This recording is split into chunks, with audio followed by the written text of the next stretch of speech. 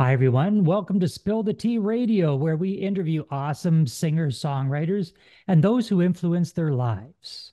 Spill the Tea Radio explores the journey, creativity, and inspiration behind the songs. With me today is Cat Bernardi. Cat is a multi award winning jazz vocalist, composer, arranger, and educator from Mississauga, Ontario. Her crystalline voice and timeless style have led led her to jazz festivals around the GTA and was the 2019 TD Toronto Jazz Hotspot feature in the Downtown Markham Music Festival. Cat has recorded two EPs, Minor Ballad Major Romance in 2014 and Let's Get Cozy in 2020. The EP's title track was one of the top four picks in Canadian Beats Weekly Beatdown and was featured on PopCan Radio's Top 24 Picks for New Music Tuesday. She just released her new single and uh, with the music Mona Lisa. Now, you mentioned the uh, playing to empty rooms. And I think that at the very, very beginning of one's career, that might happen uh, more often than one would care to remember.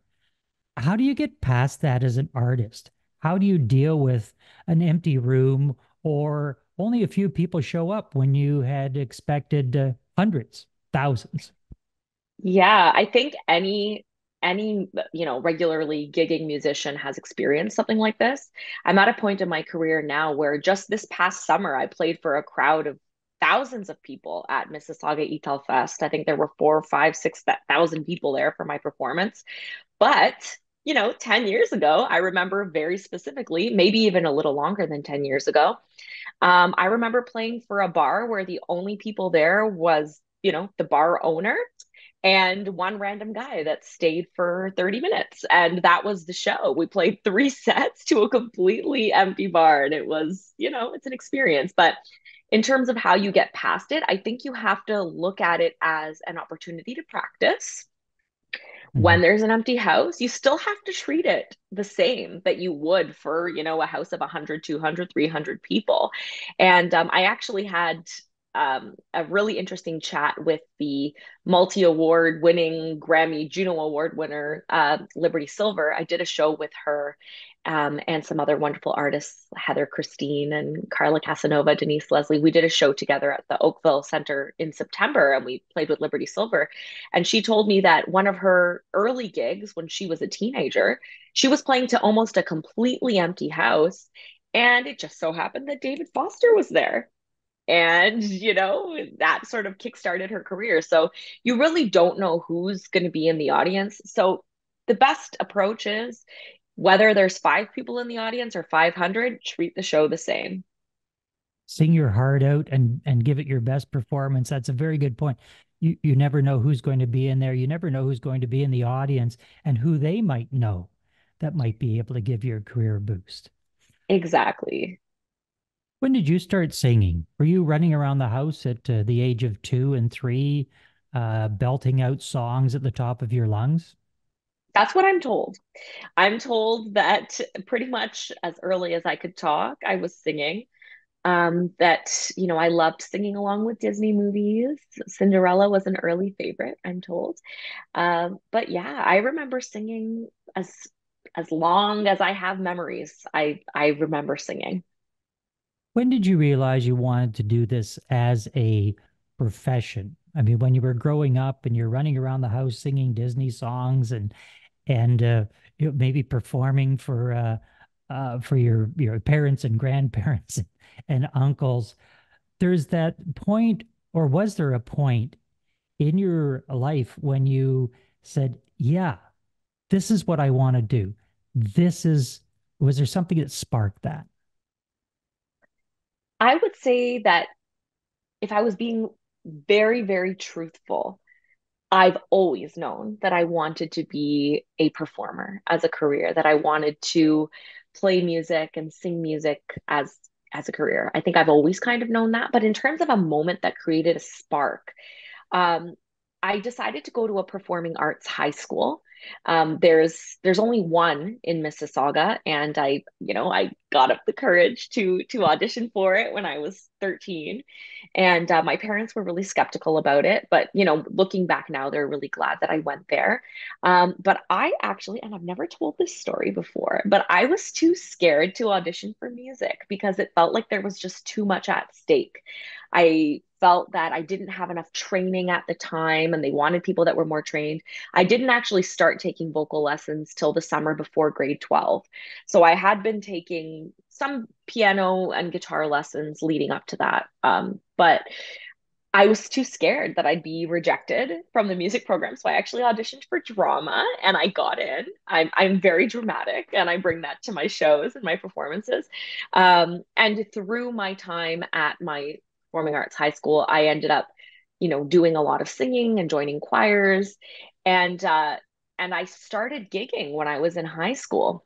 Mm-hmm. I played at a coffee shop in Etobicoke and I would play there on Friday nights. And I think it was through that experience that I realized, okay, this is this is what I want to do. When I was there performing publicly and I was I was making a, you know, a little bit of money doing it, which was really nice. I would get my little envelope with a $50 bill at the end of the night um, which at the time i mean as a high school student i get to show up and play three hours of music and walk away with 50 bucks. That's incredible. Um, you know definitely beats working for minimum wage you know at a at a restaurant or wherever because it was something i really enjoyed. So i think it was that experience that really solidified it for me that yeah okay this is something i can see myself doing you know for life well, I think we should give a shout out to that performing arts school, which is Cawthra Park, I believe, is the one. yes, yes, it is. Yeah, and uh, it is a, an amazing uh, school in the city of Mississauga. Many, many people have come out of there and made music and drama their profession. How was the support from your family when you were making these decisions? Did did mom and dad say, Cat, how about if you think about being an accountant or a lawyer or, or a, an engineer of some sort? Uh, or did they always believe that you were going to be a professional musician? Well, I think that ultimately my parents have supported my goals, but they have certainly been skeptical. Um, they've had their moments of sort of saying, okay, you know, maybe you can just do music for fun. Maybe it can just be a hobby and you can do something else. And and I have had times where I've I've, you know, gone through different ways of of making money that weren't music, but I always end up back here. I always end up back with music because this is this is truly what the heart wants what it wants as they say, right? So, you know, I mean, I'm uh I'm in my mid 30s now and I I've been doing this for I don't know maybe close to 20 years I guess and um and I I have tried I've tried other ways of of you know sustaining myself and I always end up back here so hmm. yes to answer your question my parents have been supportive but they've certainly had their moments of skepticism and they've you know they've they thought about different alternative ways that perhaps I could uh take my career. Um, but ultimately, they they are very supportive, and and they always have been. Well, let's get into one of the songs that uh, that you wrote. The song was released in 2020 and has a, I call it a very smooth, silky feel that makes you want to curl up in front of a fireplace and just be. So let's take a listen to singer songwriter Cat Bernardi and let's get cozy it's been a long year. My bones are aching, and I need you here.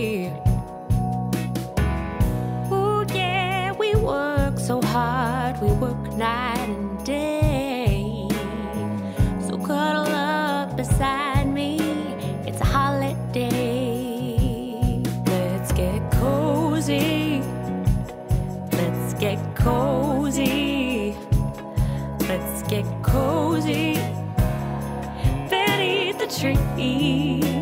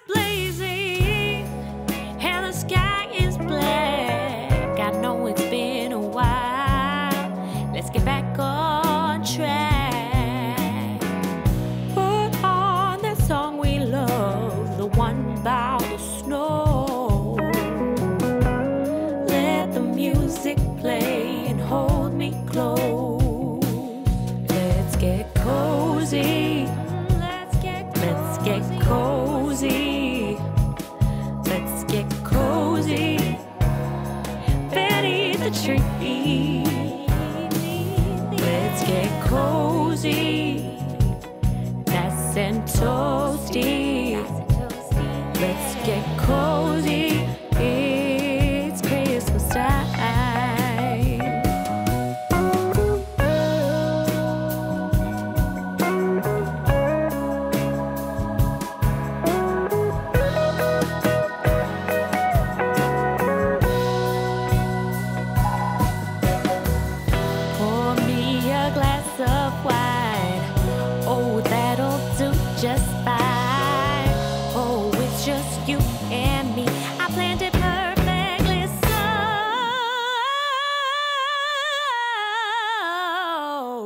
Let's get cozy, yeah.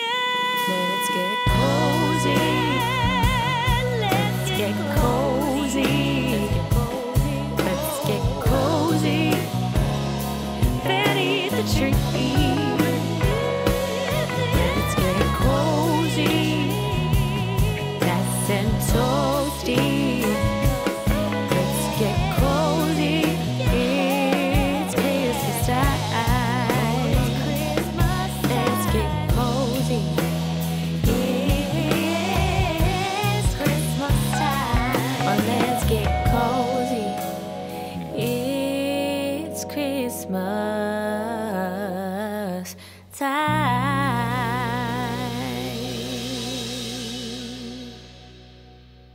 That was Let's Get Cozy by Cat Bernardi.